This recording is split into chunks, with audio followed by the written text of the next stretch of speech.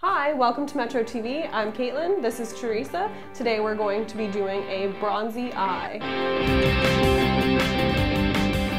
So we're gonna first start with a gold base color right here.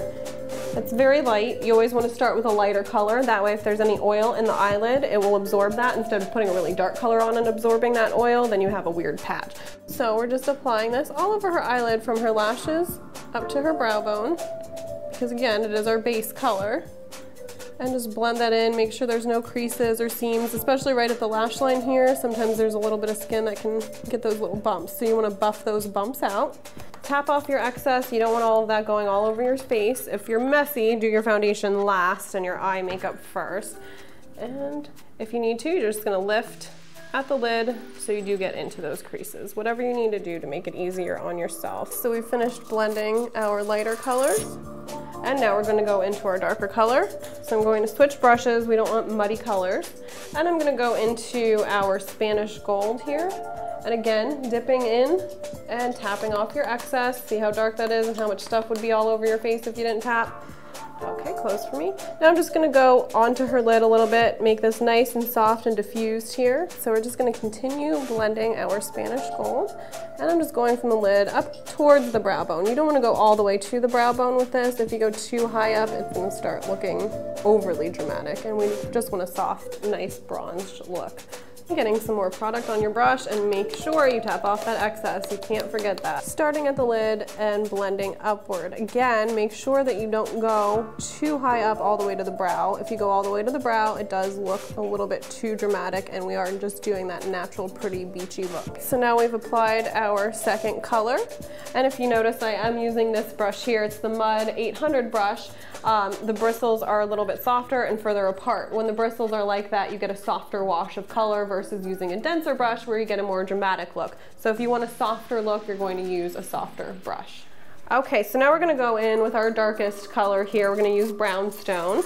So we're just gonna tap into here, and I am using a denser brush this time. It's a very similar shape to the 800. Um, this is the 810, but it is a little denser. Now keep your eyes open for me. We're going to go into her crease to create a little bit more dimension and depth. So we are doing our darkest color, and we are doing it in the crease, and I'm having her keep her eye open. Sometimes when you close your eye, you're guessing where your crease is and it ends up being too high or too low and we don't want that. So we're just going back and forth in like a windshield wiper type of motion and just blending that out. And we'll go on to the other eye. Again, go into our product, tapping off our excess. And again, she's gonna keep her eyes open and I'm just gonna go in here into her crease in the windshield wiper motion. I'm starting towards the center of her eye and just blending back and forth.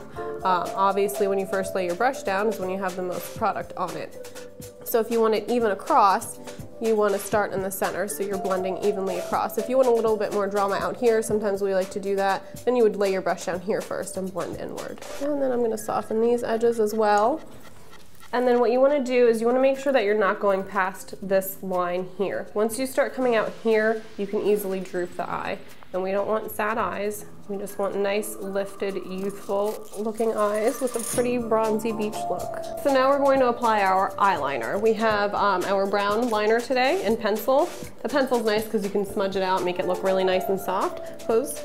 And I'm gonna lift here. If you're doing your own makeup, you never wanna pull this out this way. You end up bunching your line up and also when you let go, your line ends up being a lot thicker than you thought it was because it had been previously stretched. So if you're going to pull your eyelid at all, you wanna lift from the top. So we're just gonna lift from the top here line it right up into the base of her lash line at the root of her lashes. So as I'm doing this, I'm just doing little short overlapping strokes. It's kind of hard to get a smooth continuous line with a pencil, so these short overlapping strokes work better.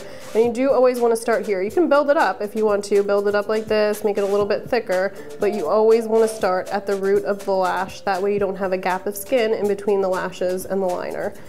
And you can always smudge it out too. So if you're not good at eyeliner, you can, when in doubt, smudge it out. We're going to just repeat the process on this side. Again, you're lifting the lid up, not stretching the lid out. So we're lifting up, doing our short overlapping strokes, all the way from the corner into here. Um, I always do it a little bit short of the first lashes. That way, again, we're not drooping the corner of the eye. If I would start all the way out here, I'm gonna droop her eye. So I'm starting in about here and then going in towards her nose. And again, we're gonna just thicken this line up just a little bit more. So we did keep her liner pretty thin here, um, just because we are doing a natural look today. You could make the liner a lot thicker and that way you would get a more dramatic look. You could also line the bottom and smudge that out a little bit and get a little bit more of a dramatic look that way as well. But like I said, we're keeping it natural for today. You know, you're supposed to be looking like you're going to the beach, so we're just gonna keep it simple. Next, we're going to be doing our mascara.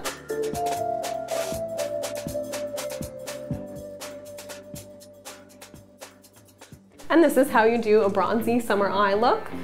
Thank you for joining us at Metro TV. I'm Caitlin, this is Teresa. Check us out on Facebook, YouTube, and Twitter.